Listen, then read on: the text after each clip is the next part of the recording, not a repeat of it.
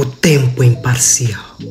E ainda bem, ainda bem que o homem, ou que o ser humano, não tem o poder em suas mãos para conter ou controlar o tempo. O tempo é imparcial, meu amigo, minha amiga. Ele desenha em nossa pele e em nosso físico as marcas de que ele avançou e como avançou. E o exemplo está aí, João Lourenço. É visível, é notório a degradação física dessa senhora. Parece um idoso de 90 anos. Olha, meu bisavô morreu com um século e mais alguns números. Mas era uma pessoa ativa. Olha essa senhora que está à procura do terceiro mandato, que é notório, que não consegue se colocar em pé por muito tempo. Olha as passadas, que nem a lenda do camaleão, nem já até o camaleão. É notável a sua degradação física. Também não é para menos. E aí que entra aquele ditado. Ninguém é feliz em cima da desgraça das outras pessoas. Aí está um exemplo vivo que qualquer um de vocês ou de nós podemos tirar as nossas conclusões.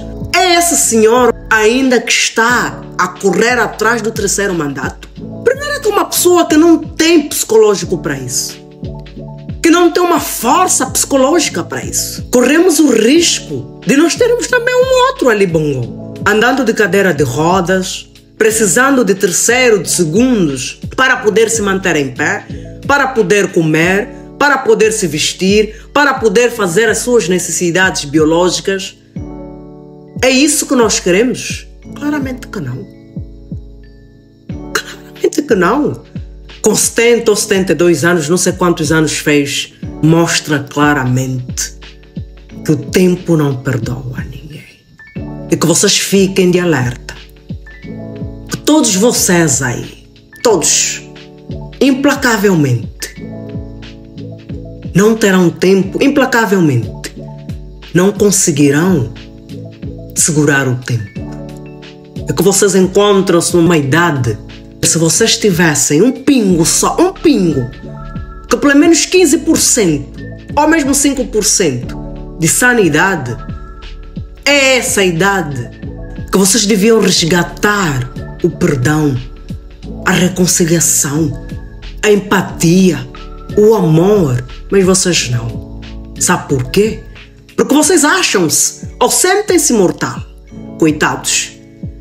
Por isso é que vocês constantemente cultivam o ódio, a separação e a maldade. Eu sinceramente eu não pensava e nem imaginava que ele estaria assim tão degradado fisicamente. Não imagino psicologicamente. Uma pessoa que já sofre com pancadas forte de psicopatia. Eu não imagino. É, senhores. O dinheiro do povo é sagrado. E a voz do povo é a voz de Deus. É nítido que vocês já estão a começar a colher aquilo que você vem plantando ao longo da vossa caminhada e da vossa jornada. Isso de porque eu, eu, eu, não, só, só, só. Isso é só vossa insistência. É só preencher o ego para dizer não, não estamos bem, não estamos fortes. Tão forte coisa nenhuma. Estão, estão a cair os pedaços. E esse é uma das maiores armas e trunfo que nós temos como jovem que somos. Nós somos jovens e eles já encontram-se na idade da pedra. Não vamos dar o gosto ouvido dessas pronúncias que constantemente passam aí naquelas televisões, não é? Aquelas promiscuidade que tornou-se a TPA, que é uma televisão pública de todos nós, porque é pago com o nosso dinheiro, de todos nós angolanos. Que nós somos rebeldes, que nós somos frustrados e tantos outros nomes que no final da história engaja-se mais para eles, não para nós. Quem luta contra qualquer sistema, ditador, opressor, não é rebelde coisa nenhuma. Pelo contrário, é um libertador. E é que nós somos. Porque nós temos um ditador, um opressista, opressor, infiltrado no poder, que diz ser presidente, e que nem ele próprio sabe o que é ser um presidente. Porque desculpa se João Lourenço não é um ditador ou um opressor. Desculpa, minha mãe é virgem. E eu e os meus irmãos viemos ou somos frutos do Espírito Santo.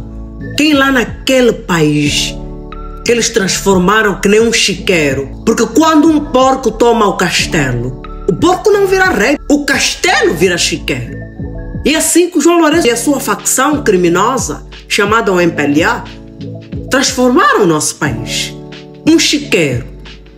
Um verdadeiro chiqueiro. Quem lá consegue ter liberdade de expressão? De exprimir aquilo que sente e aquilo que acha. De conseguir fazer uma crítica. De conseguir pedir contas aos gestores públicos. Quem? Que não vai parar nas masmorras que ele construíram. O exemplo está aí dos presos políticos que nós temos. Então, essa narrativa de vir porque nós somos rebeldes, porque nós somos frustrados, porque nós...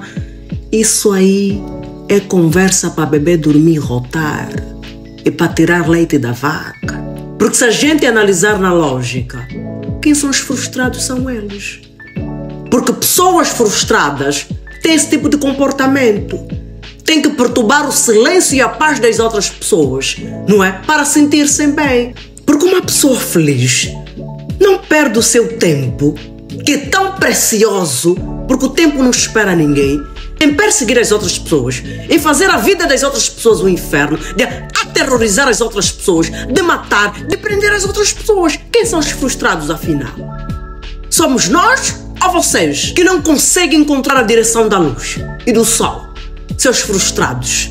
E é bom ver que vocês não conseguem controlar o tempo e não têm poder de o fazer. Suas mentes sórdidas se vocês tivessem um pouco de, de, de, capacidade de pensar, um pouco de sanidade, iriam olhar-se para o espelho e ver a degradação física que vocês encontram, refletir o que, é que será dos vossos filhos, dos vossos netos, quando vocês já não estiverem presentes ou responder por si. Mas vocês são tão egocêntricos, egoístas, insanos, que vocês não conseguem sentar e refletir de tudo que vocês estão a plantar. Seus insanos seus portadores crônicos de, de, insanidade e de maldade. Enquanto vocês estão aí em festas também, que é notável que vocês não têm felicidade, vocês não conhecem o que é ser feliz, tem aí presos políticos, tem pessoas a, a, a morrer de fome e a morrer de sede.